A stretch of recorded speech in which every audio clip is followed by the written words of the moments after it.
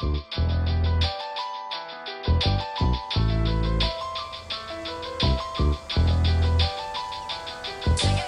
name's James Patrick. I'm an artist. I've been painting and drawing and doing art for most of my life. To me, art is, you know, my escape, my, my way of expressing how I feel.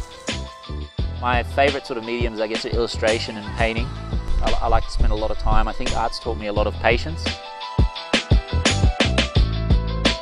I think everybody can create art. I don't think it's, I think a lot of people have an idea of how something should look, but I think really the best thing about it is, you know, if you're doing an illustration or if you're doing a painting, um, it doesn't need to be perfect. You know, it's more about just enjoying what you're doing.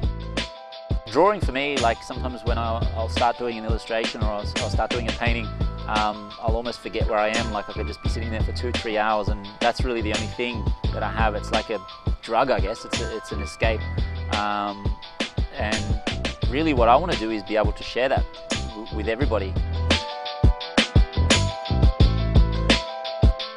Where I got the idea for this project was um, I get asked quite a lot to design or draw tattoos for people um, and I don't have any tattoos myself actually so I, I, sort of started to think what I would look like you know with a tattoo um, and I, I, wanted to experiment with the idea of using my style um, and practice see what it would come out like because painting on a body is very different than painting on a flat canvas.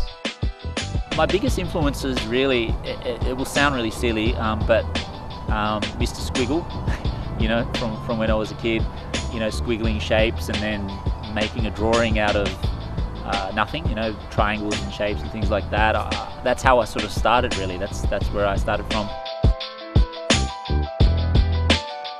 I think the best thing about not really planning the whole artwork and just starting it is that some of the best pieces really come out of the mistakes. A lot of the time I start an artwork and I don't know what it's going to look like in the end and I like that.